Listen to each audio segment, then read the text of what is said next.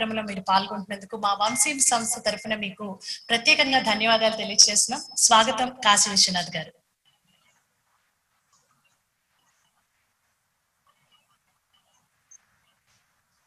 అందరికీ నమస్కారం అండి. ముందుగా movie mogul doctor D Ramanaidu గారికి ఎనభై ఆరో జన్మదిన శుభాకాంక్షలు. ఆయన పుట్టినరోజు అనగానే నిజంగా ఆయనే కానీ ఉంటే ఉంటే చాలా గ్రాండ్గా జరిగేవండి. అయినప్పుడు ఈ కరోనా పాండమిక్లో వంశీ రామరాజు గారు సురేష్ గారు అందరూ కలిసి ఇలా జూమ్ కాల్ అరేంజ్ చేయటం చాలా ఆనందంగా ఉంది. ఇప్పుడు వచ్చిన గెస్ట్లందరికీ సురేష్ బాబు గారికి మురళీమోహన్ గారికి అందరికీ నా నమస్కారం అండి. రామనాయుడు గారి గురించి చెప్పాలంటే ఎంతైనా చెప్పొచ్చండి. మనసు విప్పి మరీ చెప్పొచ్చు. హలో? మాట్లాడండి మాట్లాడండి సార్. వినిపిస్తూ వినిపిస్తోందండి ఆ.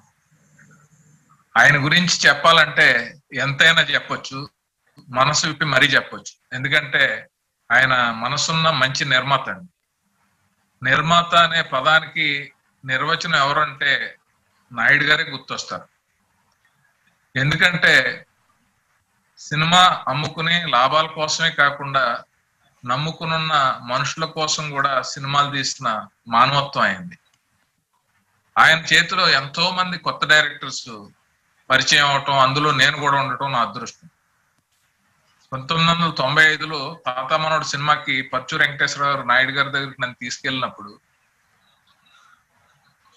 నన్ను నీకు ఛాన్స్ ఇస్తాను నువ్వు పని చేయాలి అని అనగానే నేను చాలా హ్యాపీ ఫీల్ అయ్యి ఆ సంస్థలో జాయిన్ అయ్యి దాని తర్వాత సురేష్ బాబు గారి ద్వారా ప్రేమించుకున్నారా కలిసి ఉన్నవరా గణేష్ జయమందేర్ వరకు చేస్తే నువ్వు లేక నేను లేను అనే సినిమాకి నాకు అవకాశం ఇచ్చారండి.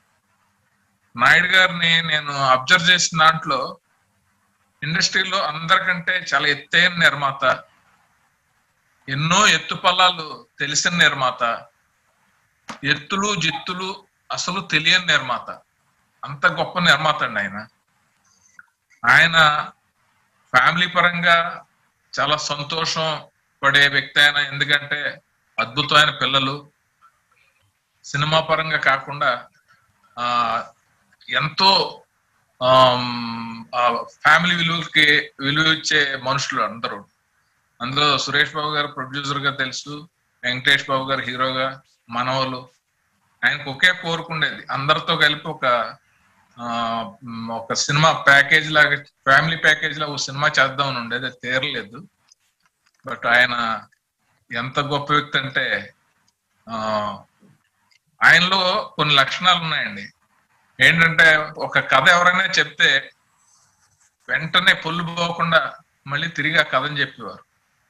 మంచి జడ్జ్మెంట్ ఉండేది. అలాగే ఎవరికన్నా ఇస్తా అన్న డబ్బులు అనా పైసలతో సుద్దా నిద్రపోతున్న లేపి మరీ ఇచ్చే గుణం ఉండేది. సినిమా అవుట్డోర్ షూటింగ్లకు వెళ్ళామనుకోండి జనాలు సర్దేవారు. స్పాట్లో కెమెరా ట్రాలీ దోసేవారు. సినిమా కోసం ఏమైనా చేసేవారు. అలాంటి వ్యక్తిని మళ్ళీ మనం చూడలేమండి. ఎందుకంటే ఆయన మాట ఇచ్చి నిలబెట్టుకోవటం కోసం ఎంత డబ్బు పోయినా నిలబెట్టుకునేవారు. ఎంతో మంది రచయితల్ని వర్ధమాన రచయితల్ని దర్శకుల్ని పరిచయం చేసి వాళ్ళ భవిష్యత్తుకు పునాది వేసిన మహోన్నతమైన వ్యక్తి రామనాయుడు గారండి. ఆయన కృషి ఉంటే మనుషులు ఋషులు అవుతారు అని నిరూపించిన కృషివరుడు జీవితాన్ని ఎలా ఎంజాయ్ చేయాలో తెలిసిన కృషివరుడు ఆయన. మిస్ యూ నాయుడు గారు లవ్ యూ థ్యాంక్ యూ అండి